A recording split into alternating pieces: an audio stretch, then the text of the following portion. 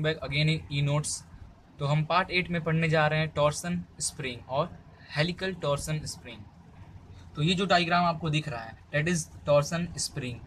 आप इसे कहाँ देखे हैं? आप इसे डोर में डोर जो होता है हमारा वहाँ देखे होंगे, ब्रश होल्डर में देखे होंगे, ठीक है? और आप इसे जो चूहा पकड़ने वाला जो होल्डर होता है, माउस होल्डर, उसमें भी देखे होंगे। क्या होता है? इस हमारा जो टॉर्सन स्प्रिंग है, इसके दोनों एंड में ऐसा हुक बना होता है। ये हुक जो बना होता है, ये क्या होता है? इस पर जब आप लोड लगाते हो लोड के कारण यहाँ पे क्या होता है? ट्विस्टिंग मूवमेंट होता है। Due to this in torsion spring, bending stress will be developed. Not torsion shear stress develop only bending stress will be developed. ठीक है? इससे पहले जो हम पढ़ रहे थे कॉम्प्रेशन और टेंशन हेलिकल स्प्रिंग वहाँ पे क्या जनरेट हो रहा था? लोड लगाते थे। लोड लगाने से वहाँ पे ट्विस्टिंग मूवमेंट वहाँ भी होता था, हमारे कोल्स के बीच में। ठीक है? ड्यू टू दिस हमारा क्या वहाँ पे बनता था टॉर्शनल सियर स्ट्रेस। बस यहाँ पे क्या होगा, हमारा जो टॉर्सन स्प्रिंग है, यहाँ ये हुक बना है, ठीक है? आप जब लोड लगाओगे तो ये हुक के कारण जो लोड लगेगा इस पर वो ट्विस्ट तो होगा, ट्विस्टिंग मूवमेंट तो होगा, साथ साथ साथ ही में ये बैंड होने की कोशिश होगा तो बैंडिंग स्ट्रेस डेवलप होगा। और क्या होता है हमारे टॉर्सन स्प्रिंग में? टॉर्सन स्प्रिंग में जो आप लोड लगाओगे तो रेगुलरली इसका रेडियस ऑफ़ कर्वेचर चेंज होता रहता है। ठीक है? रेडियस ऑफ़ कर्वेचर जैसे आप जितना इसको स्ट्रेच करोगे, उसका रेडियस ऑफ़ कर्वेचर क्या होगा? टॉर्सन स्प्रिंग का चेंज होता रहेगा, ठीक है? तो स्टार्ट करते हैं कुछ इसके टर्म्स ठीक है? इसको वाइडली यूज़ हम कहाँ कहाँ कहाँ करते हैं? इसको डोर हिंग्स में ब्रश होल्डर एक्सेट्रा में यूज़ करते हैं okay now a little consideration will so that the radius of curvature of a coil change when the twisting movement is applied to the spring thus the wire is under pure bending okay now according to am well M Wahl जो थे हमारे the bending stress in a helical torsion spring made of round wire is क्या हो जाएगा हमारा? According to well जो थे, उन्होंने bending stress in helical torsion spring made जो सर्कुलर वायर से बना है, उसका बेंडिंग स्ट्रेस उन्होंने बताया कि सिग्मा बी जो हमारा बेंडिंग स्ट्रेस होगा, वो किसके इक्वल होगा? That is Wahl's factor Wahl's stress factor into thirty two M upon pi D cube उन्होंने ये बताया कि हमारा जो बेंडिंग स्ट्रेस होता है, हेलिकल टॉर्सन स्प्रिंग का, जो कि राउंडेड है, राउंडेड वायर से बना है, उसका बेंडिंग स्ट्रेस ये होता है। अब ये क्वेश्चन कहाँ से आया? याद करो, हमने सोम में पढ़ा था, ठीक है, रफ में मैं बता रहा हूँ, ये कहाँ से आया, ठीक है? हमने सोम में पढ़ा था स्ट्रेंथ ऑफ़ मटेरियल जो हमारा सब्जेक्ट था, उसमें हमने पढ़ा था कि बैंडिंग स्ट्रेस बैंडिंग स्ट्रेस और फ्रैक्चरल फॉर्मूला हमारा बना था, वो क्या बना था? M upon I where M is a bending movement I is a movement of inertia is equal to bending stress this is the bending stress sigma B bending stress upon Y okay तो यहाँ से bending stress हमारा क्या हो जाएगा? M को हमने अलग लिख लिया और वाई उधर चला जाएगा तो वाई अपॉन आई लिख सकते हैं। ठीक है? और हम जानते हैं कि हमारा जो सेक्शन ऑफ़ मॉडुलस होता है, क्या होता है? आई अपॉन वाई होता है। तो यहाँ पे क्या हो जाएगा? Sigma B is equal to M को वैसे ही रहने दो। वाई क्या होगा इसके लिए? That is D by two okay D by two and movement of inertia of circular जो वायर है उसके लिए pi by sixty four into D का पावर फोर यही होता है ना? डी से डी कैंसिल वन एक डी टू थर्टी टू ठीक है? तो फाइनली ये हमारा sigma B thirty two M upon pi D cube आ जाएगा। अब इसमें के कहाँ से आया? के इज़ अ वाल्स फैक्टर ठीक है? इसके बीच में कर्वेचर का जो इफ़ेक्ट होगा, उसके कारण हम यहाँ पे के कंसिडर कर रहे हैं। ठीक है? तो ये हमारा इतना जो पार्ट था, ये रफ में मैं समझाने के लिए आपको बताया हूँ। यहाँ तक हम लोग समझ गए, अब आगे बढ़ते हैं। वेयर वेयर के क्या है? Wahl's stress factor Wahl's stress factor है ओके तो के की वैल्यू हमारा टॉर्सन स्प्रिंग के लिए क्या हो जाएगा?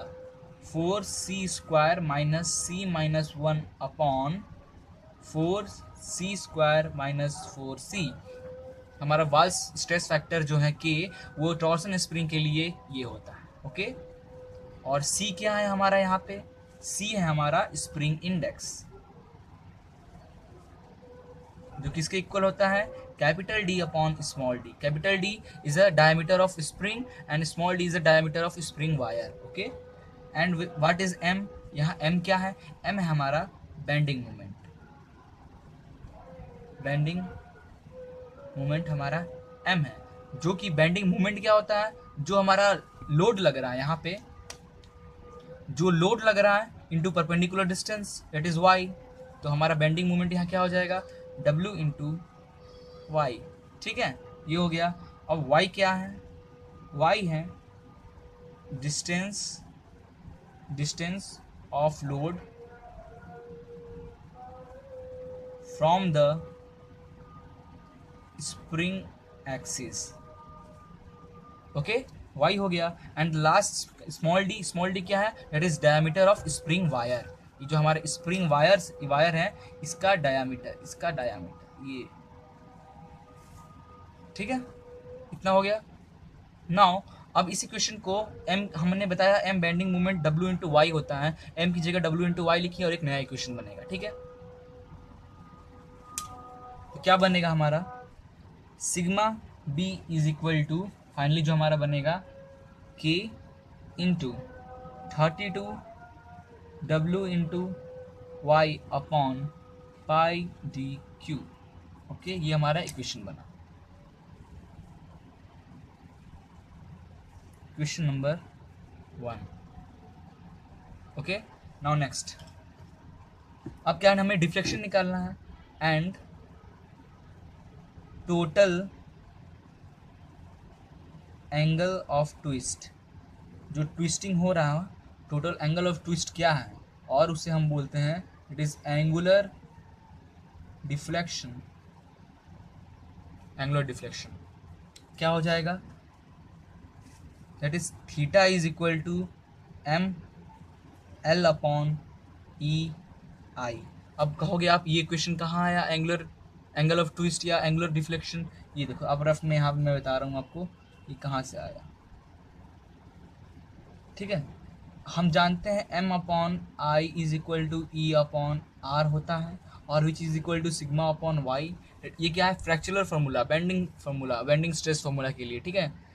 तो हम इस इक्वेशन और इस इक्वेशन से कंसिडर करते हैं, ठीक है? और ये आर क्या है? हमारा आर यहाँ पे आर जो है, वो है रेडियस ऑफ़ कर्वेचर क्या होता है radius of curvature length upon theta होता है ना? एल अपॉन थीटा कैसे होगा? ये देखो। ये है। नॉर्मल ये ट्विस्ट होने के बाद एक थीटे एंगल पर ट्विस्ट हुआ। ये जो हमारा आर का डेट इज़ लेंथ और ये हमारा रेडियस तो थीटा इज़ इक्वल टू क्या होता है? R upon radius L upon R तो आर क्या हो जाएगा? एल अपॉन थीटा ठीक है? ये हो गया। अब ये आर की जगह एल अपॉन थीटा की वैल्यू आर की जगह पे एल अपॉन थीटा की वैल्यू पुट करें। M upon I is equal to E L upon theta ठीक है? अब थीटा की वैल्यू निकाले तो हमारा ये आएगा। ठीक है? अब देखिए, ये थीटा हो गया। और इसे हम लिख सकते हैं। Theta is equal to M into pi D N upon E और आई की जगह लिख सकते हैं। मूवमेंट ऑफ़ इनर्शिया क्या होता है? सर्कुलर के लिए pi upon sixty four D का पावर फोर और theta is equal to sixty four M D N upon E D four ये हमारा एंगल ऑफ़ टू ट्विस्ट आ गया और एंगुलर डिफ्लेक्शन हमारा ये आ गया। अब बोलोगे, ये एल की जगह हमने पाई डी एन कैसे लिख दिया? क्या है एल क्या है length of free length of spring length of wire length of wire है। क्या होता है फॉर्मूला हमने पढ़ा था that is pi D into number of turns ये होता है ना हमारा लेंथ ऑफ़ वायर का फॉर्मूला ई क्या है? यंग्स मॉडुलस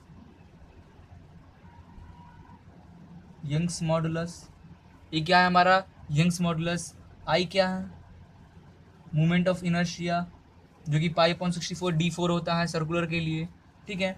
एन क्या है? It is number of turn coil जो नंबर ऑफ़ ये टर्न्स है एस नंबर ऑफ़ टर्न वो है, ठीक है? तो ये हमारा एंगुलर डिफ्लेक्शन निकल गया। नाउ अब हम बात करेंगे एंड डिफ्लेक्शन हमारा जो डिफ्लेक्शन होगा उसमें जो चेंजेस होंगे इलोंगेशन होगा जो कंप्रेशन होगा जो भी डिफ्लेक्शन लेंथ का जो अप या uh, बड़ा या छोटा होगा स्प्रिंग हमारा लोड लगने पे वो क्या होता है? Deflection is equal to theta into L होता है हम जानते हैं ये। Sorry theta upon Y theta upon Y क्योंकि यहाँ पे थीटा यहाँ पे जो हम डिस्टेंस ले रहे हैं सेंटर से डेट इज़ वाई तो deflection is equal to theta into Y theta की वैल्यू पुट करते हैं। थीटा की वैल्यू आप पुट करेंगे तो हो जाएगा sixty four M D N upon E D four into Y. ये हो गया हमारा डिफ्लेक्शन कितना चेंजेस हो रहा है स्प्रिंग में, लोड लगाने के बाद उसका फॉर्मूला, ओके?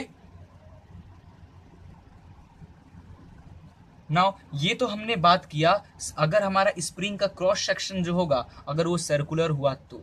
अगर क्रॉस सेक्शन जो हमारा होगा, अगर वो स्क्वायर हुआ, अगर वो रेक्टेंगल हुआ तो उसके लिए हमारा बेंडिंग स्ट्रेस और डिफ्लेक्शन क्या आएगा? आइए देखते हैं। सेम ऐसे ही होगा। बस मैं आपको डायरेक्ट बता रहा हूँ कैसे निकलेगा, ठीक है? Okay now when the spring is made of rectangular wire having width is B and the thickness is T rectangular cross section हुआ, जिसका विड्थ हमारा विड्थ हमारा क्या है? बी सॉरी विड्थ हमारा है B and the thickness is T okay तो इसके लिए बैंडिंग क्या हो जाएगा? Sigma B is equal to इसके लिए हो जाएगा हमारा, कि तो हम रखेंगे, क्योंकि ये वाल्स कांस्टेंट है, लेना ही पड़ेगा। Six M upon T B square और sigma B is equal to के into six W into Y that is movement को डब्ल्यू इंटू वाई लिख सकते हैं। टी बी स्क्वायर ओके होगा ये। अब आप कहोगे, ये के तो ठीक है, ये वाला कहाँ से आया? जैसे इससे पहले मैंने बताया था। इससे पहले वाले में, मैं बताया था कि कैसे निकलता है। हम जानते हैं M upon I is equal to sigma upon Y M is a bending movement I is a movement of inertia sigma is a bending stress Y is a distance from the axis okay तो यहाँ पे sigma क्या हो जाएगा? Sigma B that is bending stress क्या हो जाएगा? M into Y upon I हो जाएगा। तो सिग्मा बी एम को रहने दो। वाई क्या हो जाएगा? वाई तो हमारा बी अपॉन टू ओके बिर्थ का ही तो हाफ़ होगा. एंड द रेक्टेंगल के लिए हमारा मूवमेंट ऑफ़ इनर्शिया क्या होता है? B D cube upon twelve यहाँ पे क्या है? This T B cube upon twelve okay two six एक बी से एक बी कैंसिल हुआ. तो हमारा क्या आ जाएगा? Sigma B is equal to six M T B और T B into B square हो जाएगा. और के हमारा कॉन्स्टेंट वाइस फैक्टर ओके ये हो गया. नाउ फिर हमारा एंगुलर डिफ्लेक्शन एंगुलर डिफ्लेक्शन का फॉर्मूला क्या होता है? हम अभी डिस्कस किए थे इसके बारे में। That is theta is equal to M L upon E I okay M तो हमारा वही रहेगा। आई की जगह that is pi D okay pi D N L की जगह रखा हमने। और ई आई की जगह that T B cube upon twelve ये मोमेंट ऑफ़ इनर्शिया होता है। तो हमारा जो फाइनल थीटा जो आएगा, वो हो जाएगा twelve pi M D N upon E T B cube ये एंगुलर डिफ्लेक्शन हमारा आ गया। ठीक है एंगुलर डिफ्लेक्शन ये हो गया। नाउ डिफ्लेक्शन क्या हो जाएगा? That is deflection theta into Y theta की वैल्यू आप यहाँ रखें। Twelve pi M D N upon E T B cube into Y ये हो गया हमारा कितना डिफ्लेक्शन हो रहा है स्प्रिंग में? उसका formula okay same to same square के लिए. स्क्वायर के लिए क्या करना है? When the spring is made of square wire with E side equal to B then substitute T is equal to B in the equation जो हमारा equation आया है, वहाँ टी की जगह आप बी कर दें। क्या बी की जगह बी कर दें तो आपका वो पूरा हो जाएगा। फॉर एग्ज़ाम्पल सिग्मा बी की into same to same six W into Y अब टी की जगह मैं बी कर दूँगा तो ये हो जाएगा बी क्यू ये हमारा हो गया बेंडिंग स्ट्रेस बेंडिंग स्ट्रेस हमारा हो गया, ठीक है? नाउ थीटा क्या हो जाएगा? Twelve pi M D N upon E T की जगह पे हम बी रख देंगे तो डेट इज़ यहाँ बी क्यूब बी फोर हो जाएगा।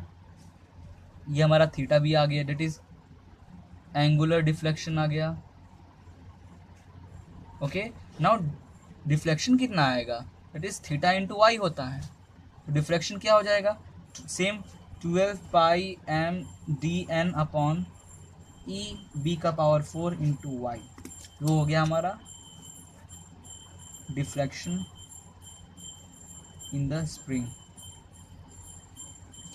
okay तो ये हमारा दो टॉपिक था।